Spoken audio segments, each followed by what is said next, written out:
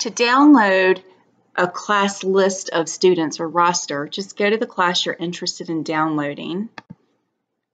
Once you get to that class, you'll see that you're automatically under the Students tab, which is where you want to be. And then if you look over at the right-hand side, you'll see Download Class Reports.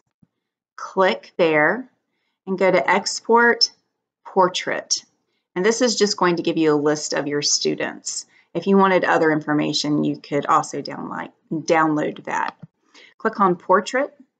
This is going to open up an Excel file, but it's actually a .csv file. Don't worry about that too much right now.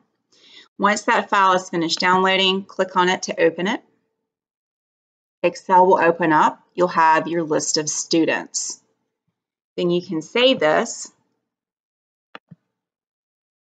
and I'm going to go ahead and save it as an Excel workbook. So I'm going to change my file type to Excel workbook.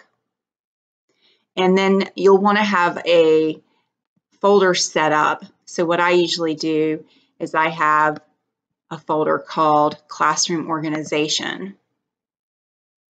And then I can put the list in there.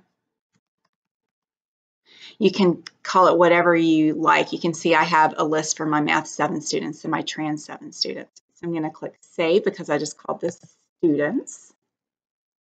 You'll see at the top of your Excel file that it's now called Students. And in order to upload this into other programs, there are some more steps, but this is the very first step, downloading your student list to Excel.